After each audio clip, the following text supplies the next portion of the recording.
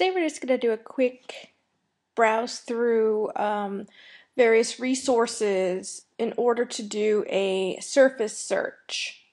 Now surface searching is a great way to discover um, what's been done about a topic or how to narrow down a topic if you have one and I'm just going to show what I would do um, in this case.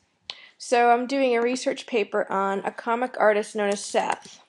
And if I just type in Seth on Google, I'm going to get a lot of stuff that has absolutely nothing to do with what I'm doing. So I know um, just from using Google many times that it's probably best for me just to go to advanced search and say it has to have that, um, but it really also needs to have comic.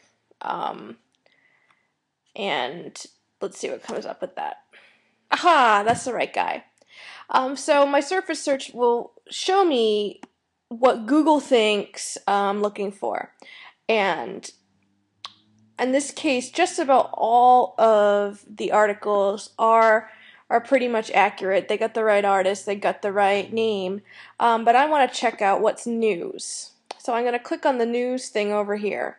Um, and I'm seeing that suddenly a lot of my results are getting not so good. Um, partially because they're talking about Seth Green or this guy here, Seth Demuse. So I'm just going to add one more word. That's the name of this particular artist series.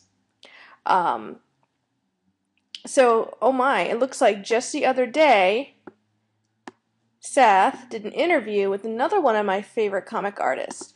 Um, that's that's great. I would have missed this completely. And maybe there's something in here that I can use for my research paper.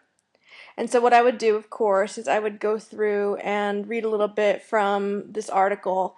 Um, and if I find any interesting keywords like, oh my word, check it out, Seth has a new book coming out, I would just plug that into Google and follow the links for a while until I found something particularly interesting. Um, another way to do a surface search is to just play around with the library's websites.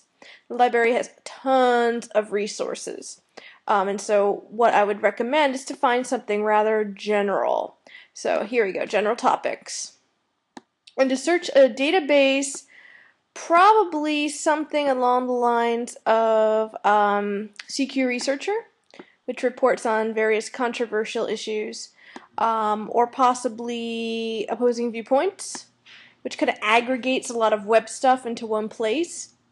Um, but for this example, I'm going to go through um, this here, Academic OneFile plus general, which is going to search both academic and general sources.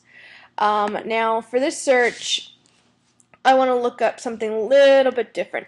I want to look up another thing that I'm really passionate about. Um,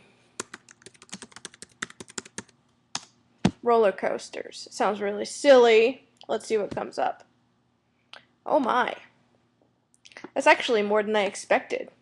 Right, but what's neat about this resource is it does split them um, between different results. So you have your magazines, your academic journals, which would be more peer-reviewed, your books, your newspapers, multimedia, etc. Now, multimedia is great um, because it has things that you wouldn't necessarily expect to find um, in a library database. For example, this is a broadcast transcript of um, a weekend program, a weekend news program. Here I can click on a video from the Today Show right? Again, these aren't all scholarly sources, but they are the types of things that you can take a look at, and it doesn't take very long, um, and see whether or not your topic is researchable. Are you finding stuff? If you need to narrow down your keywords, are you finding the right stuff? Um, and if you're not really sure how to narrow, you can at least start to go through some of the sources and try to find a smaller picture based on the topic you suggest. Those are just a couple tips. Happy searching.